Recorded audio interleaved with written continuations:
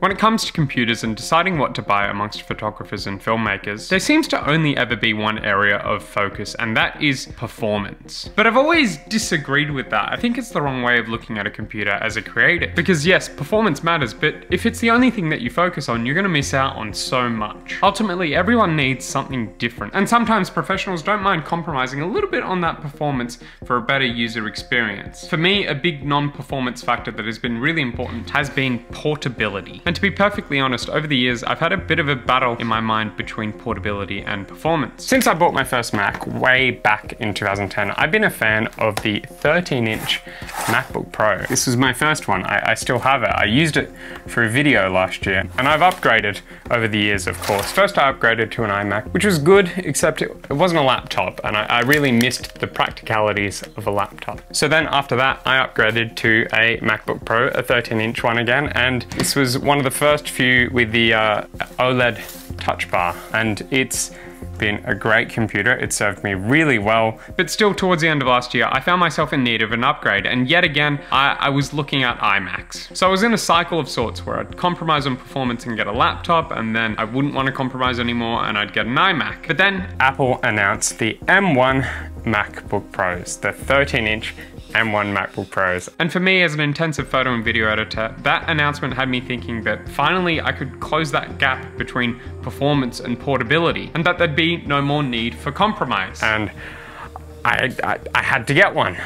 So so I did, and I've now had it for about a month, and it is nothing short of amazing. And I really wanted to make a short video this week where I, I, just basically talked about my computer, because this is probably the most significant performance upgrade I've had on a computer ever, really, even when I went from a MacBook Pro to an iMac. And I know I just spent the whole intro saying how performance isn't the only thing that is important, but this little computer somehow managed to get nearly everything else right, as well as performance. And that's the point I guess I'm trying to make in this video. I also hope to add a different kind of perspective from what's typically here on YouTube because I, like most normal people don't actually upgrade my computer every single year. I upgrade it every three years and with that a lot of my friends and family say that I upgrade my computer too often. But yeah, my point of reference for this whole video is my last MacBook Pro which was a late 2017 13 inch which I've already sold so I haven't actually got it here with me but the specs are as follows. The processor was a 3.1 gigahertz dual core Intel i5 with the integrated Intel Iris Plus graphics, 8 gigabytes of RAM and 250 256 gigabytes of storage. And when I bought it from the Apple Store, it cost me $2,447.50. As for my new M1 Mac, it has the M1 chip with the 8-core CPU, 8-core GPU, the 16-core neural engine thing, and I upgraded to 16 gigabytes of RAM and 512 gigabytes of storage. And even with those upgrades, that cost me $2,419. So it was actually about $30 cheaper, and it's very close price-wise, so I think it's fair enough to compare these two computers and even if it wasn't fair, I, I would compare it because th these are the computers I had and now have. Me being me, the very first app that I installed on my computer was Final Cut Pro. I opened up a project and I ran export tests on both of them just to see what I was getting for my money. I did four different exports in four different compression formats that I typically use. 8-bit HEVC, H.264, H.264 faster encode, and H.264 better quality. Correspondingly,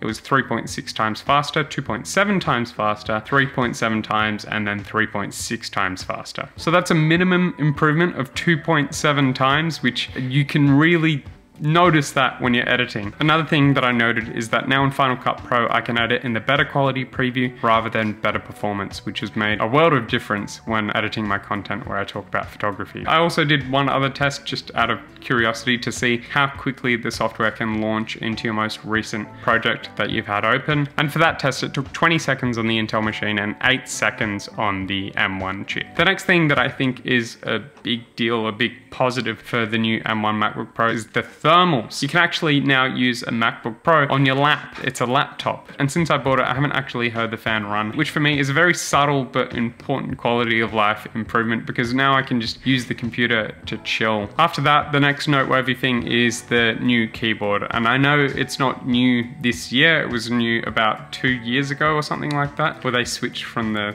famously terrible keyboard to the better keyboard. I didn't mind the terrible keyboard, but I do definitely prefer this new one. Also, the um, actual physical escape key is kind of good to have. And finally, as they heavily marketed, battery life is just crazy. It's really good. It's everything they say it is. I can spend a whole day using my computer without having to charge it, and that's using Final Cut Pro and browsing the internet on Chrome and writing in Google Docs and doing stuff that isn't super heavy use, but there are moments of heavy use in Final Cut. But it's not perfect. There's two things that I don't like about it. I don't like how they made gaps in the arrow keys. I know this was a thing that they changed when they changed the keyboard because apparently people preferred the old system that used to be on the really old MacBook Pros. But my one argument to that is when you look at the Magic Keyboard, it's got that same system and this is what every iMac uses. And I use it when I'm editing on this computer at my desk so I don't hurt my neck as much. And it's now annoying to have to switch between the two. And the second thing that I don't like is that there's only two Thunderbolt ports. And it is a small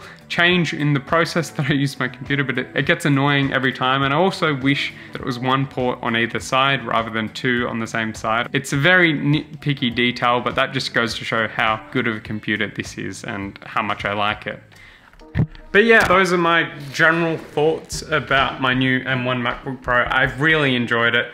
It's not perfect, no machine ever is, but this is just about the closest to perfect that I've gotten so far and I really like it. But I can't end this video without bringing up a thing that personally hasn't affected me much, but it might affect you, and that is third-party apps, particularly Adobe apps. You wanna check if the compatibility is good and how buggy it is. Uh, I've heard Premiere isn't so good, but in my use, Lightroom Classic and Photoshop has worked fine. I haven't even noticed a difference using it with Rosetta. If anything, it's run smoother, but uh, I just haven't noticed it. I haven't had a single bug in Photoshop on Rosetta yet.